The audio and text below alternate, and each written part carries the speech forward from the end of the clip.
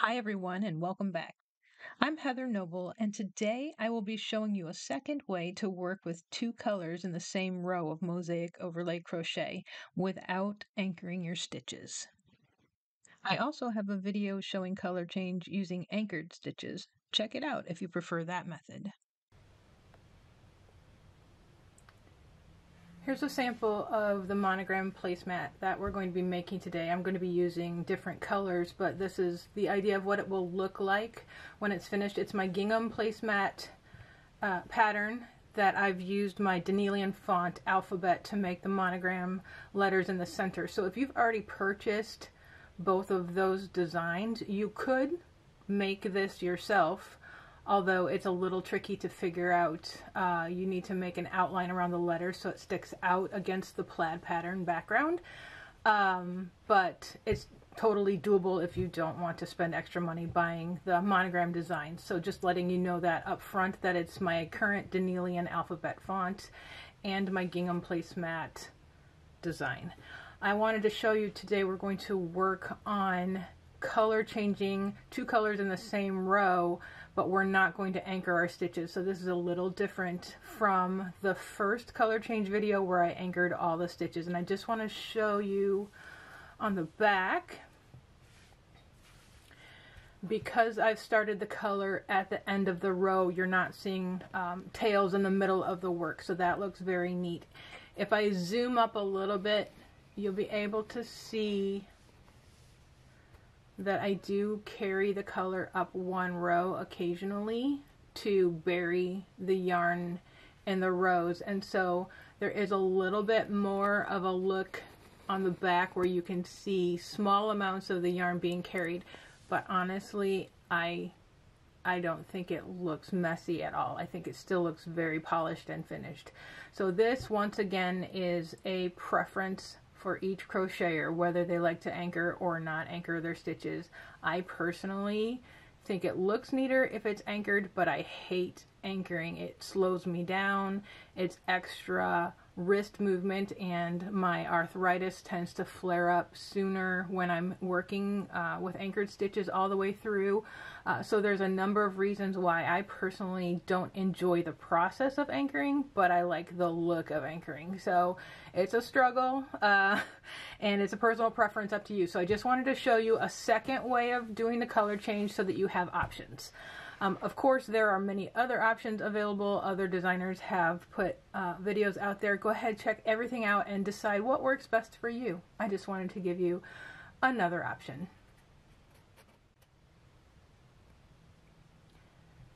I've gotten a lot of questions about the app that I use to uh, work with my charts on my iPad. This app is called Knit Companion. I didn't try it for quite a while because of the word knit. I wasn't aware that it would work also with crochet, but it works really brilliantly with uh, the crochet chart and also the crochet written patterns.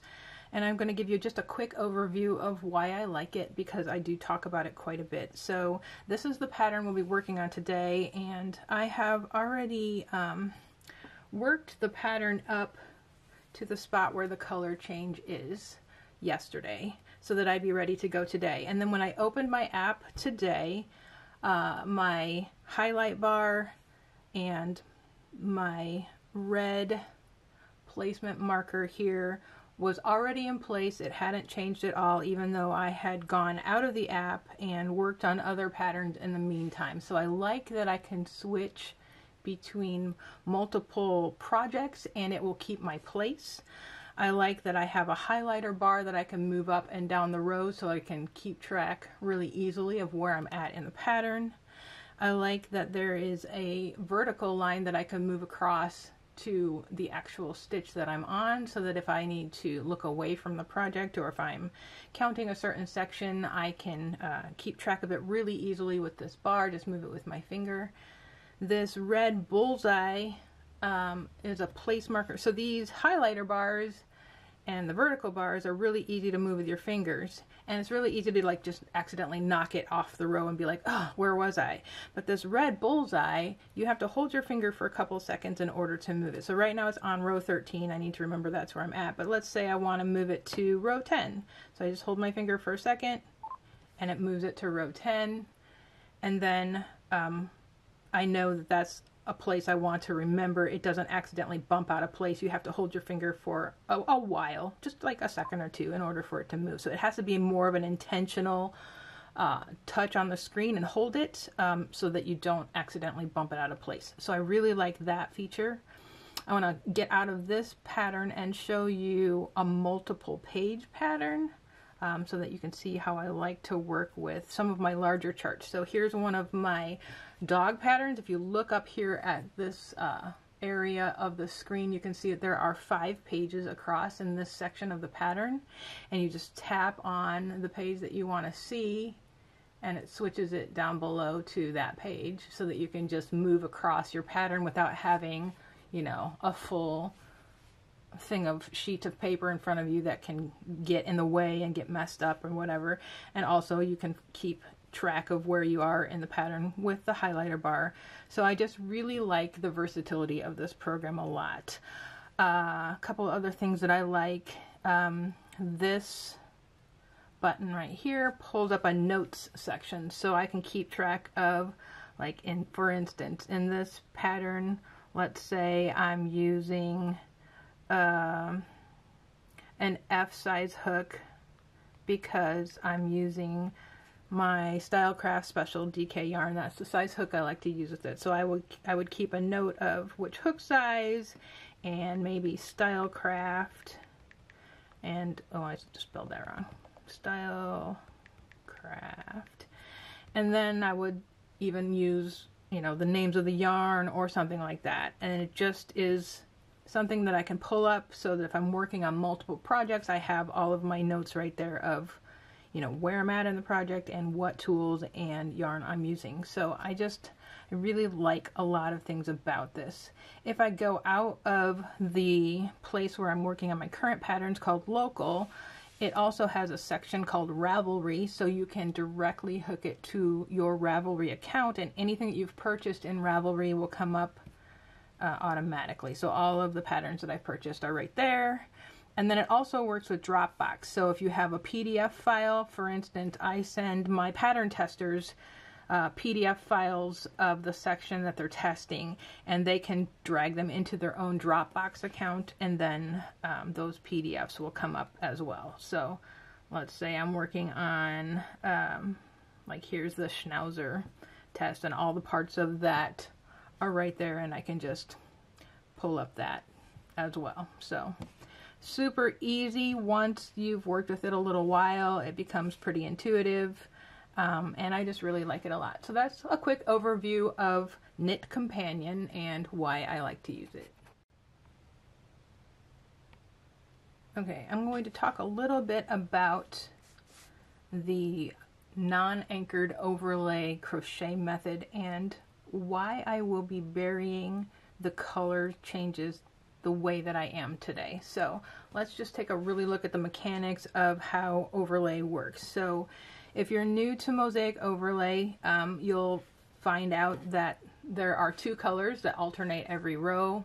Uh, typically you stay with two colors. Uh, we're getting fancy by adding a third color with the tapestry technique. Um, when you do the double crochets over the top of the single crochet, it creates an extra thickness.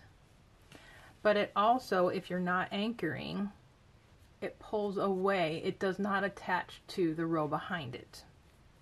So when I'm working a third color and carrying it through the row, there's not a way when I'm working a double crochet to bury the, the third color because there's not an attachment there to catch the thread or to catch the yarn.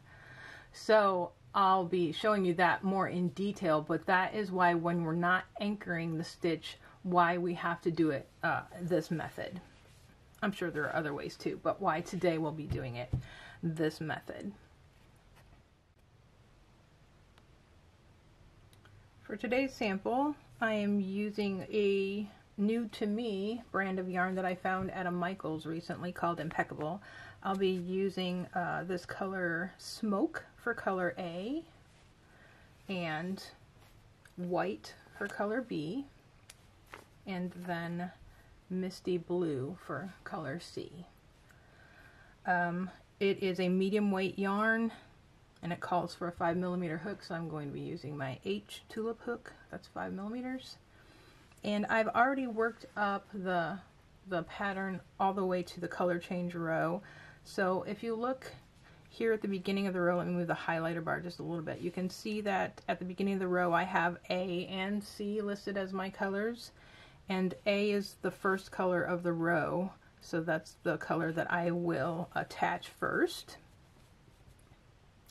so I'm going to start with a border stitch, inserting my hook under both loops and grab my color A. Oh, shook the camera there. Grab my color A, pull up a loop and chain one, and then insert my hook under both loops again. This is where I would complete the border stitch with a single crochet, but before I do that I'm going to attach my third color C.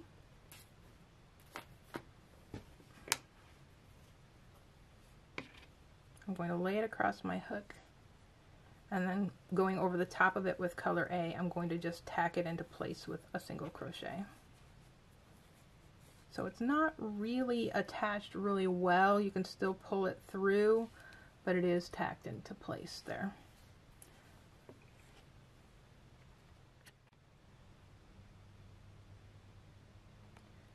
In this row where I am first introducing my third color, I have uh, single crochet stitches across the entire row.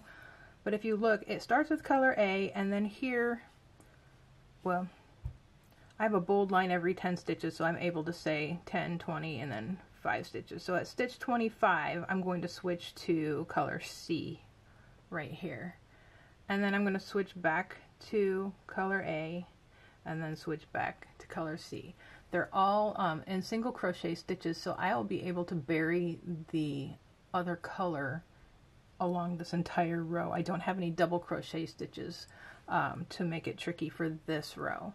So I'm just going to start, I have my two colors attached at the border stitch and I'm going to start with color A and I'm going to hold color C right at the back loop. Here, let me uh, zoom in just a little bit here I'm going to hold color A right at the back loop and when I pick up the back loop for my back loop single crochet I'm going to also work under color C and this will bury it in the single crochet. So I'm going to work 25 stitches and each stitch I will bury the other color behind. And I will meet you when I get at stitch number 25.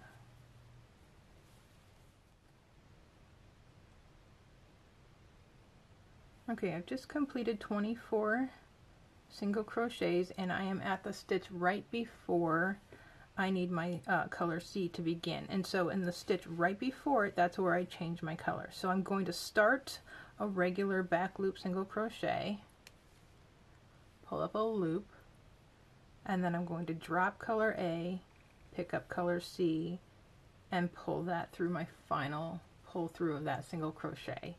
And that finishes the stitch for the 25th one and has the color C ready for the next stitch. So then I have four single crochets and I'm going to pull color A to the back loop here so that I can work underneath it and work four single crochets, two, three. Now this fourth one I need to change back my color to color A, so I'm going to pull up a loop, drop color C, pick up color A, and pull it through that final loop pull through. So I've switched from color A to color C and back to color A.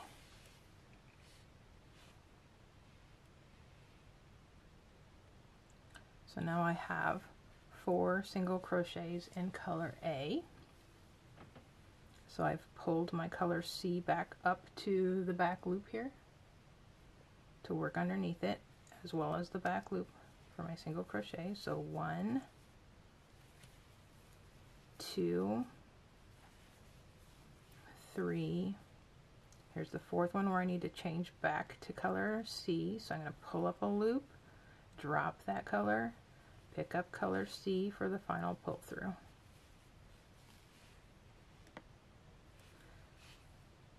And then I have six single crochets in color C.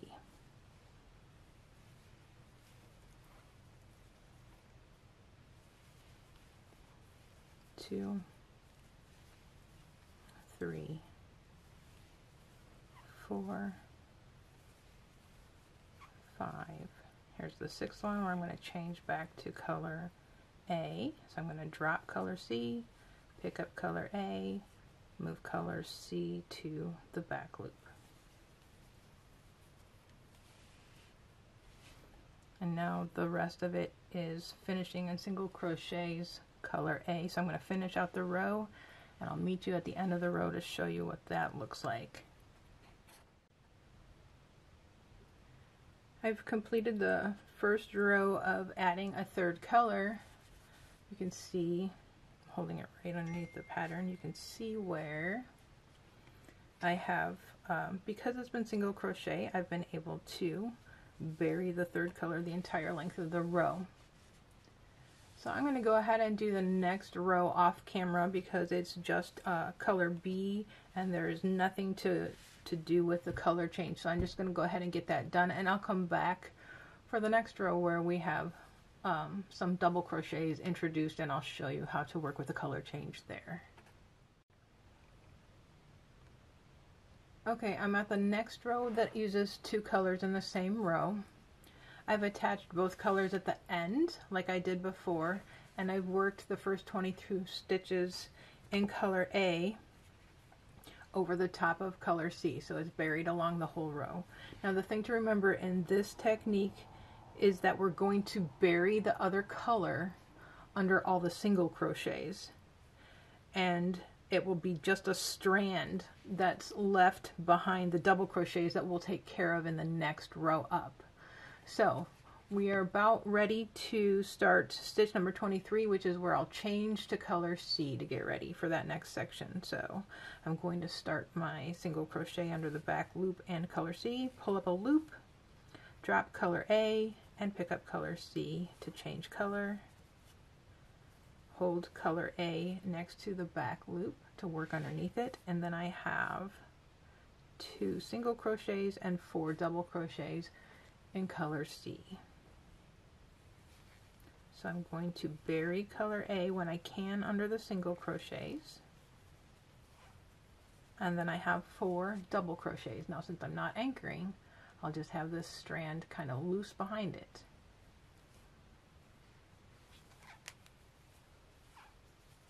One, two,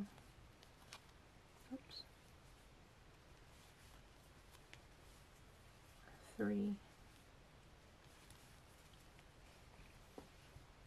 Now this is where it's a little bit tricky too because I have to change to color A here. So I've started the first part of my double crochet. Let me take that out so that I can show you a little slower. I have one more double crochet to go, but I also have to change my color. So I always change in the final pull through of the stitch. So let's start the double crochet. So you're going to yarn over insert your hook like normal, pull up a loop, yarn over and pull through two. Now here's the final one, so you're going to drop color C, pick up color A, yarn over, and do the final pull through. So now you've changed your color and you've got your four double crochets. So now I have two single crochets in color A. So since it's a single crochet, I'm going to bury the other color with it. One. Now this is a single crochet, whoops, a single crochet here, but I'm also changing color. So I'm going to start the single crochet in color A, drop color A, pick up color C for the final pull through of that single crochet.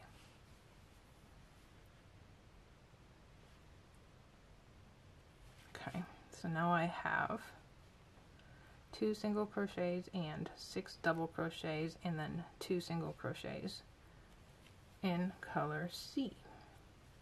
We're going to bury when we can with a single crochet. So pull that strand of color A up next to your back loop so you can bury it. So two single crochets and then this strand will lay loose behind the double crochets. We have six double crochets here. One, two, three. I never know how many stitches to show before you guys get bored watching me do the same stitch over and over again, or if it's useful. So, if I'm boring you, I apologize. If it's useful, yay! Here's my sixth double crochet. Now I have two single crochets and I'm going to make sure I have that strand. So see how it's just going to lay behind here exposed? And you don't want to pull it too tight because that will mess with your tension.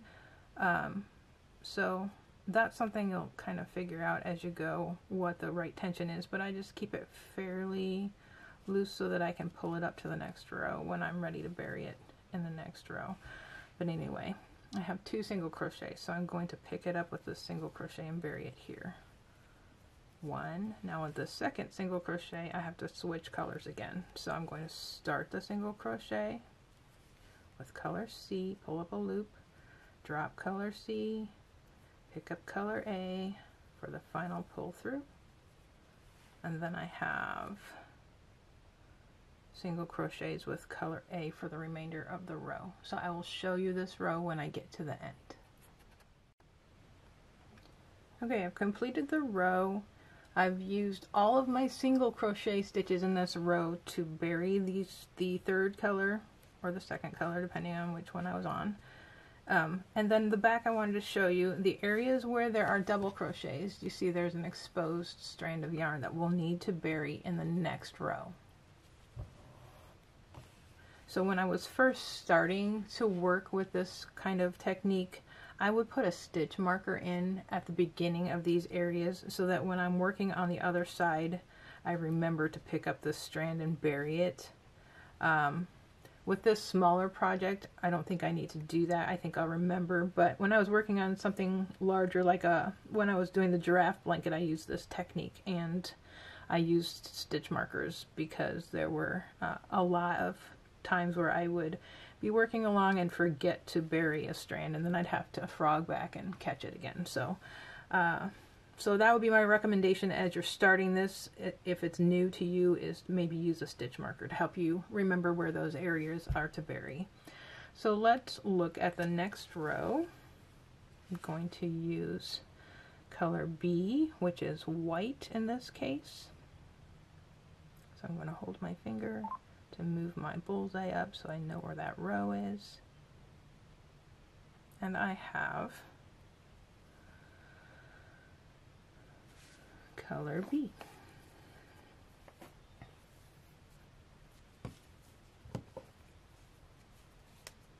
Just a reminder, a border stitch works under both loops. So you pull up a loop, and chain one, insert your hook under the same two loops in that stitch and work a single crochet.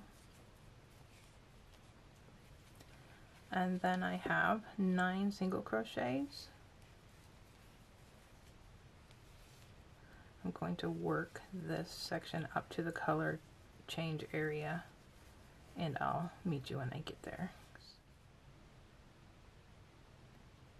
Okay, I've worked across the row to the area where there's a color change and we've had the strand left behind the double crochets that's exposed and so we need to bury it in this row. So if you're looking at the chart you can see here is the highlighted row that I'm on and the first if I look below my row one row down I know that I have two single crochets below it there I've already buried color C because it was a single crochet in that row But then when I got to the double crochets, I couldn't bury it. So above the double crochets in this row that I'm working is where I need to bury color C. And in mosaic overlay crochet, you, you're never going to have a double crochet on top of a double crochet. You'll always be able to bury it with a single crochet in this technique. So let's go ahead and get started. I have two stitches that, that I don't have to worry about burying because they were a single crochet underneath. So there's the first two. Now I have four stitches on top of double crochet. So let's take a look and see, yep, there is my strand that I need to catch. So I'm going to insert my hook for the single crochet under the back loop and catch the strand of color, well that's color A that I'm catching to bury. So I'm going to catch it four times. There's one, two, three, four. So if you look at the back, you can see a little bit where I've showed you there's going to be a slight uh, carry thread that you'll be able to see. Um, I don't think it makes the back look bad, but just be aware that you'll be able to see just a slight little stitch mark there. So then I have two double crochets.